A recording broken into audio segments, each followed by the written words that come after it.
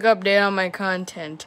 This is I might not upload for a few hours or days because I'm running on a 10 hour video and its file size is 84 gigabytes.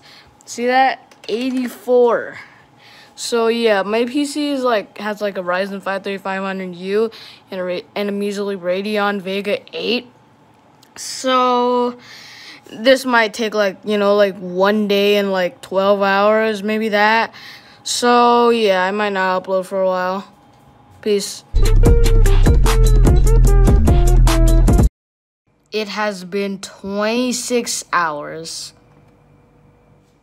And it's still not done. Well, here's a quick update of my uh, 10 hour video.